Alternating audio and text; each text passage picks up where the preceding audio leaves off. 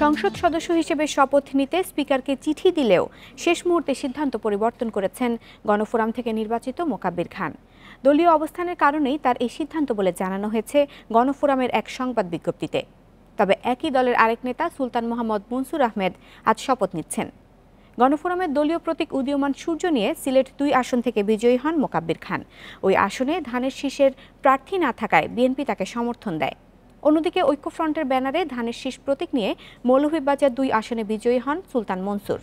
MP হিসেবে সাত March শপথের সিদ্ধান্ত জানিয়ে সম্প্রতি তারা স্পিকারকে চিঠি দেন। এ ব্যাপারে সব প্রস্তুতিও নেয় সংসদ সচিবালয়। তবে একদিন আগে সিদ্ধান্ত পরিবর্তন করলেন মোকাব্বির খান।